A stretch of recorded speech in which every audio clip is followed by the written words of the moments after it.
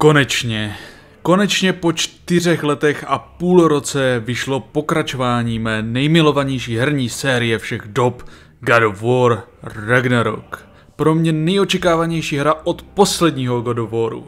A pokud vás zajímá, proč poslední týden nebyly videa, tak to bylo právě kvůli této hře.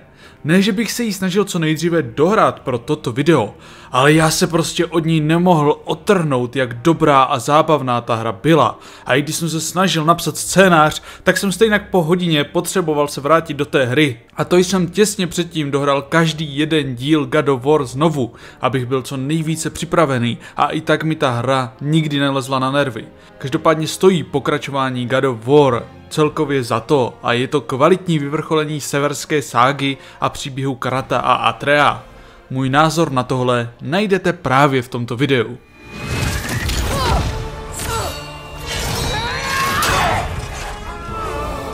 Video obsahuje minimální spoilery, budu mluvit maximálně o postavách, které se ukázaly už v traileru a nehodlám zásadním způsobem spoilerovat hru samotnou. Avšak pro co nejobsáhlejší recenzi hratelnosti tu zazní pár věcí z pozdějších částí příběhu, které jsou spjaté s hratelností. Tohle je tedy poslední varování, pokud nechcete vůbec nic mít prozrazeno.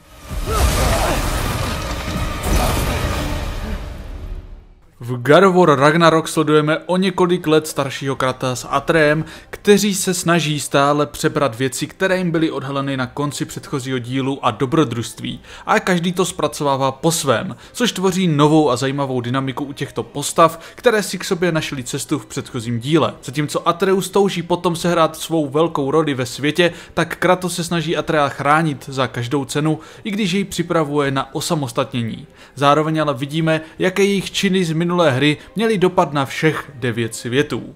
Hratelnost jde ve stejných šlépějích jako God of War z roku 2018, takže zde nečekejte žádnou revoluci. Kratos stále přepíná mezi svými zbraněmi a používá runové útoky a relikvie, zatímco koriguje svého společníka a jeho útoky na nepřátele. Je to systém, který společně s lehkým těžkým útokem, vrháním zbraní, štítem, úskoky a komby funguje naprosto brilantně.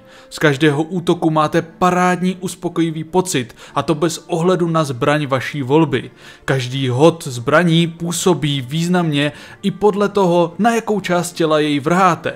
Je to systém, který je dost snadný na naučení a navyknutí, ale zároveň nabízí velkou variabilitu. Tato obměna přichází díky možnostem run a výbavy měnící vaše staty, díky čemuž si každý hráč najde svůj herní styl, který mu bude nejvíce vyhovovat. Ať je to spolech na běžné nebo runové útoky, případně upřednostnění obrany s výdrží nebo štěstí.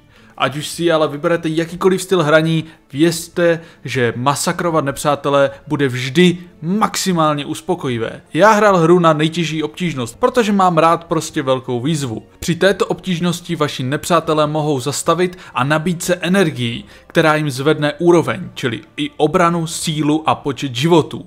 Tohle naštěstí mohou udělat jenom jednou během souboje. A je to při nejmenším lepší mechanika než léčení z předchozí hry u nejtěžší obtížnosti, která přidává podle mě do soubojů dost taktickou úroveň navíc. Avšak pokud nejste masochisti jako já, tak víkendovým hráčům doporučuji spíše normální obtížnost a veteránům tu těžkou. Na to nejtěžší je tu hned několik pasáží, kde se můžete zaseknout i na půl hodiny a to lehce narušuje tempo hry a dialogy mezi postavami, což je trošku škoda, ale člověk si to prostě vybral sám.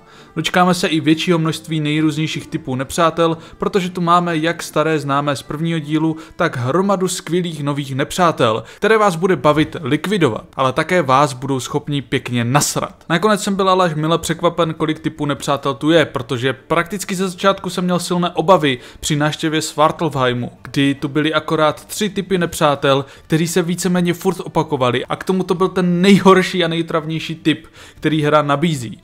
Naštěstí v pozdějších fázích hry se dočkáme už zajímavějších nabídek nepřátel. Co ale obzvláště potěší je větší množství soubojů s bossy, což je jedna z věcí, kterých bylo v předchozí hře opravdu pomálu, zvlášť pokud jste moc neproskoumávali ten vedlejší svět. Zde nám to autoři opravdu vynahradili naplno. Jediná výtka, co k tomu mohu mít, je ta, že se autoři rozhodli navrátit i oblíbené quicktime eventy z původní série. Které i mě dost chyběly u předchozího dílu, avšak v tomto provedení byly vysoce banální, což by nebyl samo sobě problém. Problém je hlavně ten, že je tu máte jen u některých bossů a u jiných ne. A tak se mi velice často stávalo, že jsem po vyčerpávajícím souboji odložil ovladač, abych si vychutnal cutscénu, jak toho bose Kratos zlikviduje. A pak jsem najednou dostal na prdel, protože se tam objevilo tlačítko, které jsem měl zmáčknout. Protože jsem zapomněl na to, že to zde vlastně může sem tam být.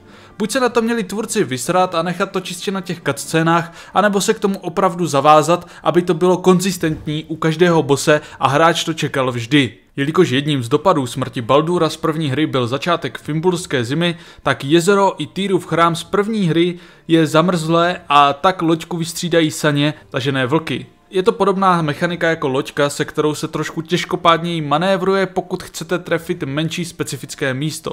Ale i tak se jedná o příjemnou obměnu. Ale nemusíte se bát, loďky se taky opět dočkáme, avšak na jiných světech. Hra opět obsahuje hromadu skvělých vedlejších aktivit, které mají i pěkné příběhové a místy i emocionální vyvrcholení, za což si zaslouží velký aplaus jak scénáristé, tak designéři. Pokud jste se báli, že by vám tu chyběly i Valkýry, tak se nebojte. Hra nabízí jejich obdobu a to jsou berserkři kteří sice nejsou tak cool a zajímaví jako Valkýry, přesto se jedná o kvalitní náhradu, která vás krásně zabaví a dá vám tu správnou výzvu.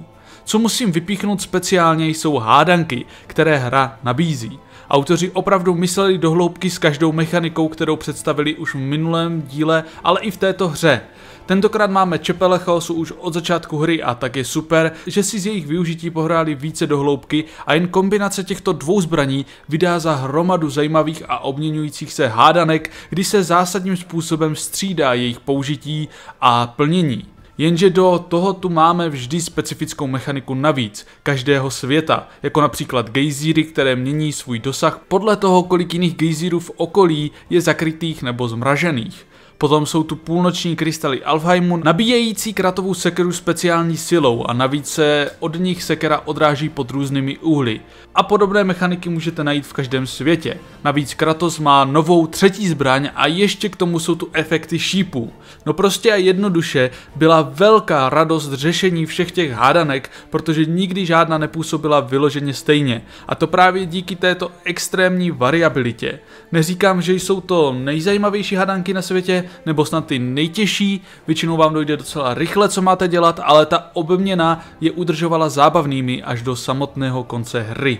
Jediný problém, který tu mám, je, že zde máte při řešení omezený počet čípů pro společníka a některé hádanky potřebují, abyste vystřelili třeba sedmkrát z toho šípu a tak se to stává trošku otravné a zdlouhavé.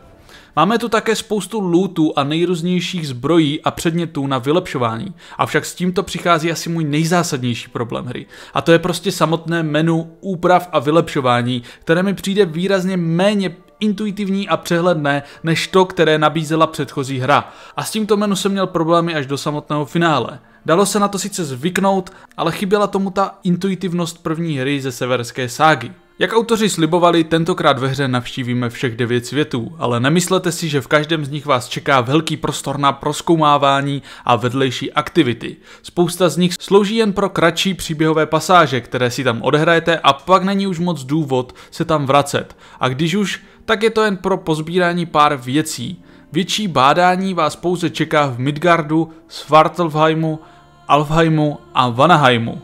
Přesto je to za mě ideální množství míst k naštívení a většímu proskoumání, které je ideálně úměrné k délce hry samotné.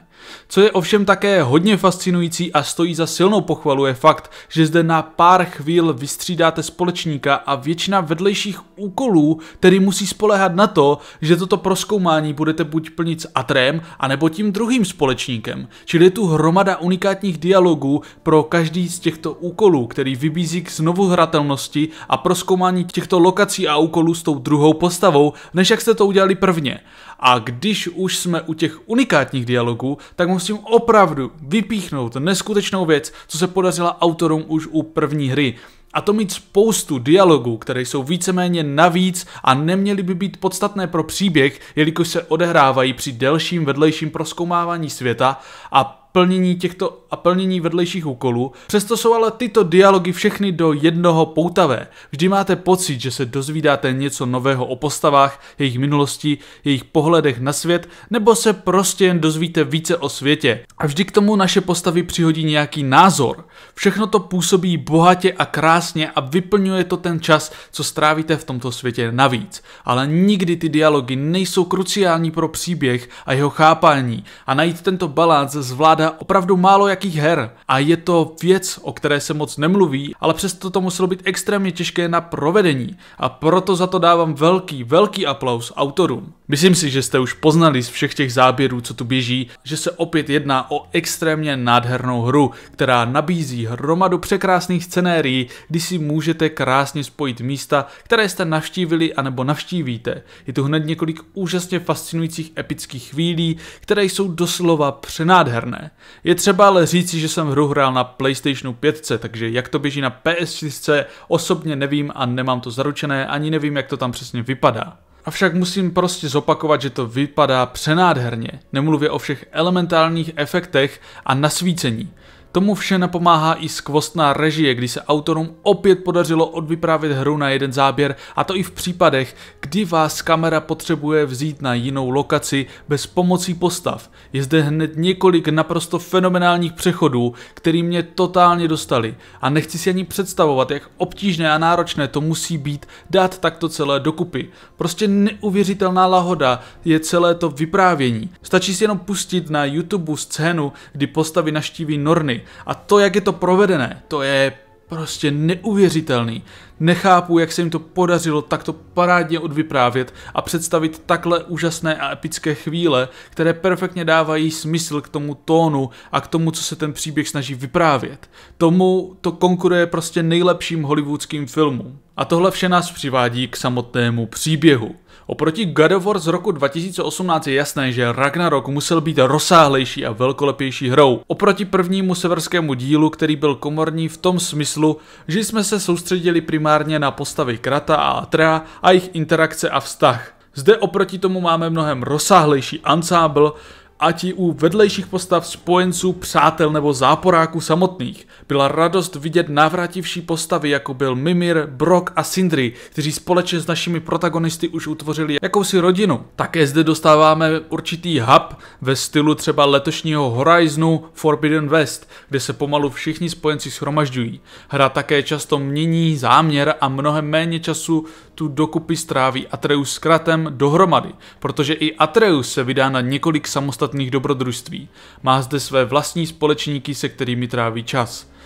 Ze začátku mě to trochu mrzelo, protože dynamika těch dvou ústředních postav mě bavila zdaleka nejvíce a jejich vztah a dialogy bylo to, co pro mě 2018 dělalo tolik záživnou. Navíc společníci, které dostanete prvně, když se tyto postavy rozdělí, netvoří tak zajímavé dynamiky, ale to se později zásadním způsobem změní a jak Atreus, tak Kratos budou mít postavy kolem sebe, které tvoří zajímavé situace a konverzace je tu jen jedna část za Atrea a to v Jotunheimu, která na mě působila lehce delším a nataženým dojmem, než musela být. Přesto u takto dlouhé hry je až překvapivé, že tu nebylo jediné místo krom této chvíle, kdybych měl pocit, že příběh nějak stagnuje nebo zdržuje. Každopádně toto rozdělení ústředních postav dává perfektní smysl k příběhu, již se hra snaží vyprávět. A to je příběh o samostatnosti Atra a o tom, jak se tito dva musí naučit vzájemně důvěřovat a být k sobě upřímní. Navíc to nabízí hned několik úžasných payoffů, zúčtování, které vyvolává silné emoce. Je třeba říct i, že naprosto každá postava v doprovodném obsazení je naprosto vynikající a je jedno, jestli se bavíme o starých známých, jako je Freya, nebo o nových přírůstcích, jako Thor a Odin, anebo třeba o dalších Asgardianech. Každý z nich působí jako jasně definovaná postava, která se vždy chová v souladu se svým charakterem a s tím, jak je napsaná. Všichni působí hluboce a uvěřitelně a jsou velmi přesvědčivě zahraní svými hlasovými herci. A máte pocit, že se jedná o opravdové živoucí bytosti. Jak jsem říkal, příběh má větší měřítko a je tak jasné, že nabízí nesrovnatelně mnohem více velkolepějších momentů, na které jsme zvyklí spíše z původních dílů této série. A v tomhle se jedná o neuvěřitelně uspokojivý zážitek pro všechny fandy od prvního dílu, ale i pro nováčky, kteří tuhle velkolepost neměli možnost doteď zažít. Jelikož je teď Atreus mnohem starší a více samostatnější člověk, který má vlastní hlavu a vlastní rozhodování a už nečeká pouze na otcovo schválení, tak Kratos působí mnohem zranitelnějším dojmem, což dává smysl i vzhledem k tomu proroctví, které vidíme na konci předchozí hry. A zde Kratos projevuje nejvíc emocí, které kdy projevil a u tohoto stoického hrdiny je to opravdu strašně dojemné a silné vidět. Samotné proroctví a otázky osudu či interpretace těchto věždeb je silným tématem samotné hry a to je perfektním způsobem rozpracované a odvyprávěné. A je tu celkem hromada věcí, která se dá neuvěřitelným způsobem na příběhu vychválit. Ať je to obměna emocí v jednotlivých scénách, anebo jsou to právě rozhodnutí všech postav, které jsou vždy v souladu s motivacemi, které nám byly představeny, paralely, které tu vznikají mezi postavami, jako když Atreus i Kratos se snaží ochránit jeden druhého, ale vlastně si tím přístupem navzájem škodí. To, že Thor je stejně jako Kratos jen otec, co se snaží napravit chyby své minulosti a zároveň v něm Kratos vidí své minulé já. To, že tentokrát je celý konflikt mnohem komplexnější, než že všichni bohové jsou zlí a jdeme zde opravdu do hloubky. Prostě se jedná o úžasně a skvěle napsaný příběh plný skvostných postav a dialogů, které umí být dojemné, chytré, ale i vtipné. Stejně jako v předchozím díle. A pokud jste hráli 2018, tak víte, že autoři mají obří talent užitkovat ve finále všechny místa, předměty a postavy, které jste za dobrodružství potkali. Opravdu scénaristika a vyprávění této hry je tak moc extrémně skvělá, že žádný letošní filmový velkofilm se jí nevyrovná. Musím také konstatovat, že tento díl nabízí z celé série tu nejsilnější horskou dráhu emocí a opravdu usítíte snad každou možnou myslitelnou emoci, jaká vás napadne. A často se budou střídat ze scény na scénu. A tohle bylo opravdu skvělé i na samotném finále, které krom tradičních epických scenérií a chvílí plné adrenalinu a uchvácenosti nabízí i spoustu jemných a osobitých momentů, komorního rozřešení mezi postavami. A tenhle balans všeho to dělá jedním jedním z nejsilnějších finále, jaký jsem v herních sériích kdy zažil. Avšak mám tu pouhou výtku k tomu, že samotné střetnutí s finálním nepřítelem a rozřešení konfliktu mezi ním mi nenabídlo až tak silné a emocionální vypětí, jaké bych asi chtěl a čekal. A to byla lehká škoda, jinak se jedná o perfektní zakončení. Avšak co se týká ukončení samotného příběhu, které je v epilogu, tak to je tak strašně geniální a uspokojivý, ať už pro Atrea nebo Kratose. Jako někdo, kdo teď znovu prošel celou sérii, tak mohu konstatovat, že si nedokážu představit prakticky smysluplnější a, uspokojivý, a uspokojivější zakončení cesty v severské sáze, které pro něj dává maximální smysl a je v souladu se vším, co jsme s ním prožili a je pro mě takřka nemožné více dát doslov, jak moc jsem si užil tento příběh a každýho zvrat.